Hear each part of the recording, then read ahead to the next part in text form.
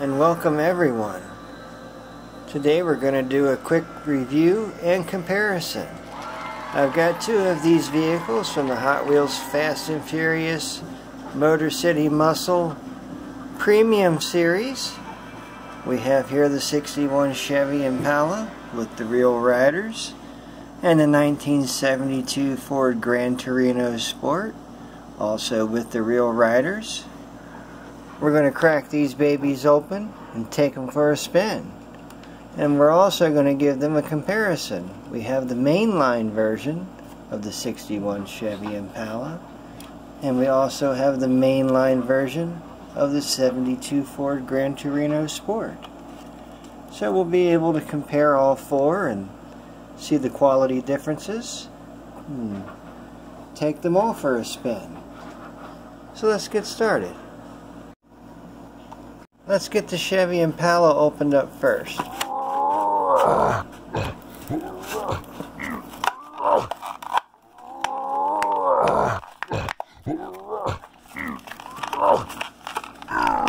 off the bat, even the package is harder to open than a main line.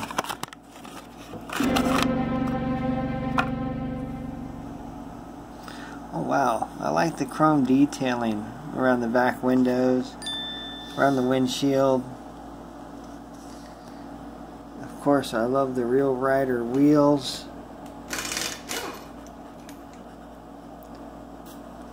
The signature round tail lights in the back. The metal chassis with the metal bumper. Can't beat that.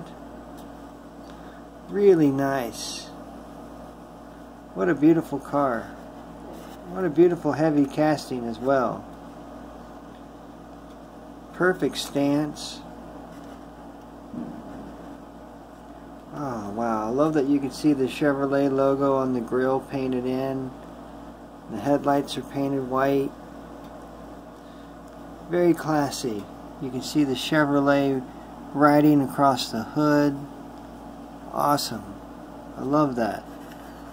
You also can see the Chevrolet Impala insignia on the side quarters. Now let's give a comparison with the main line.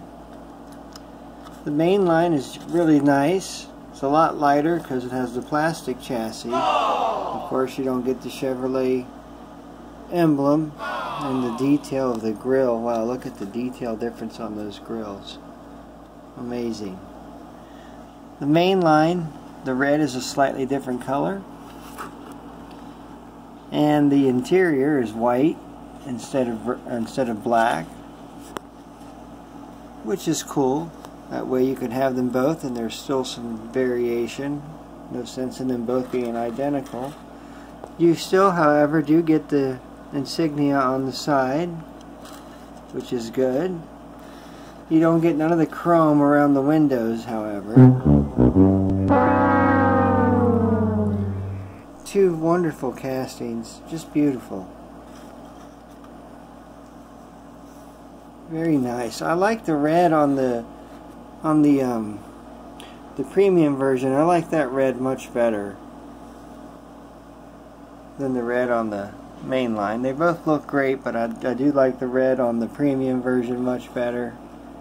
I guess you would call that candy apple red, maybe, or lipstick red. On another note, this is also the same casting that I used to build the number 2 Demolition Derby car in a previous video. That's the same main line as this one.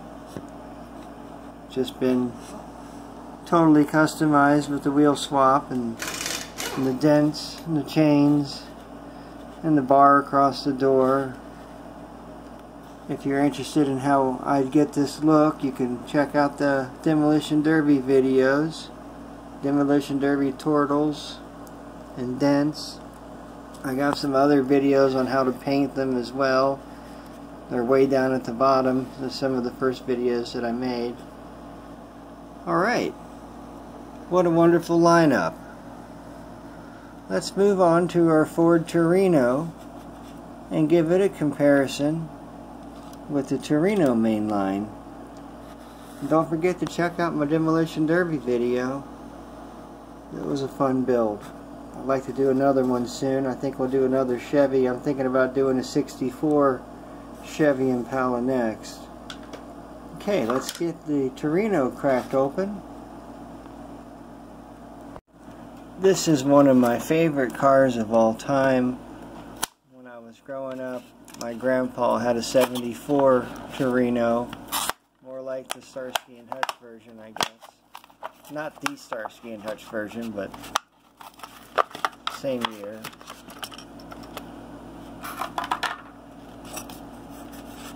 Very nice.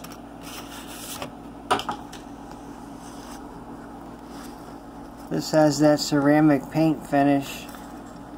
These premium paint finishes are amazing. Almost indestructible. Wow. What a beautiful car. Uh. I don't understand why it has chrome interior, but that could easily be changed. Let's get the main line. The main line also has the chrome interior, except the white graphic going down the side is slightly different than the white graphic on the premium. The premium white graphic looks much nicer, better placement as well. Awesome wheel choice. However, the mainline version, the roll pans on the front and back are both green like the car, not the exact same color, but they are green. And the roll pans on the premium look chrome because the chassis is metal. They should actually be the same color as the body in, in real life. But still a nice casting, I'm not complaining. It's just interesting that the mainline cheaper version is more true to how it would be in real life with those areas being green instead of chrome. Very nice. I don't see much difference in the paint color like you do in the two Chevys. Of course you see a big difference back here with the taillights being painted. That looks a lot better. And of course, big difference with the front ends. This metal chassis really adds to the front end on the premium model. Boy, the premium model looks fantastic. They both look fantastic, but more realism on the premium model, of course. Both are very nice.